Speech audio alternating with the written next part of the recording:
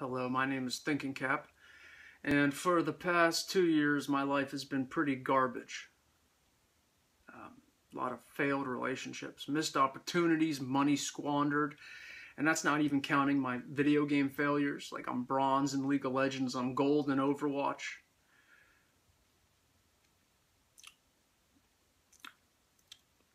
But at the same time, I feel like I haven't done anything to cause that misfortune. I feel like I've made good choices. I feel like I've tried hard. I've been determined. Nonetheless, I suffer constantly. And today, as I contemplated the shit avalanche I've been buried under for so long, I had a realization. Everything came into light, and I saw the source of all of my problems. Here it is. It's this Pepe the Frog looking baseball playing motherfucking stuffed animal.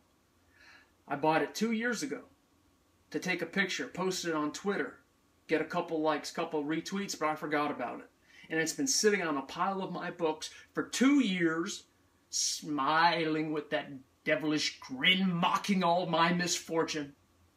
It's a curse that begets evil upon anybody unlucky enough to have it in its possession. I'm convinced there's only one thing I can do destroy it once and for all. In the name of all that's holy, by the Lord Jesus Christ and his brother Allah, I sentence you to the graveyard, you fucking piece of shit! You like that, you motherfucking cocksucking? Yeah, die, you bitch! Fuck you! Fuck you! Mother... Fuck yeah! Ruin how many relationships? Yeah, you bitch! Yeah, you bitch! You fucking cocksucker bitch! Ah! How do you like that? You fucked my life up! Burn. Burn, you meme curse! Oh my god, I feel so good. I feel like a weight's been lifted off of me.